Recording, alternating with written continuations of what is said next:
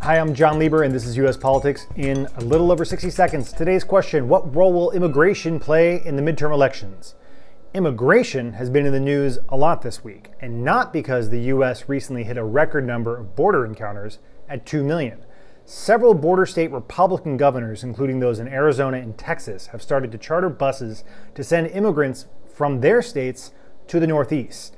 In the states and cities that are typically run by Democrats, who have generally embraced a more lax policy towards immigration, yet have not had to try and absorb the new migrants into the population in any significant numbers, like the border states have.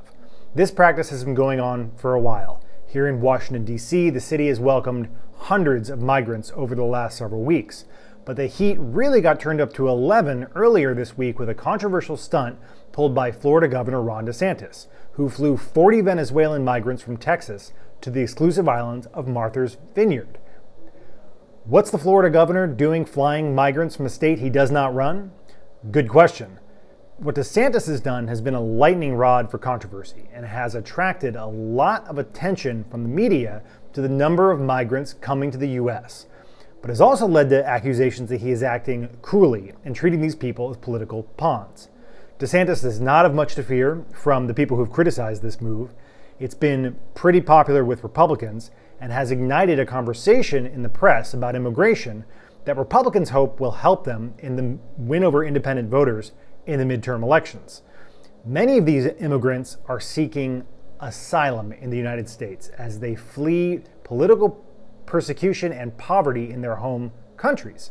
These people cross the border illegally, but once they have arrived and applied for asylum, they are here legally. It can take years to resolve these humanitarian claims, and many of these migrants end up staying in the U.S. for months or even years while their cases are considered, usually relocated to other border states or places deeper in the United States. DeSantis' controversial actions have drawn attention to this massive spike in immigrant encounters, from 1.6 million last year to over 2 million this year, and drawn political attention to the outsized burden that border states bear from the surge in migrants, which is a major issue for Republican voters, but not so much for Democrats, who in this cycle are telling pollsters care about abortion access and gun violence than immigration. The Biden administration is attempting to tame this surge in migrants and is deporting roughly half of the adults that they encounter.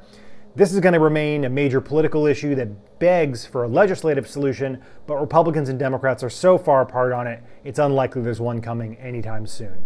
Thanks for watching. This has been US Politics in a little over 60 seconds.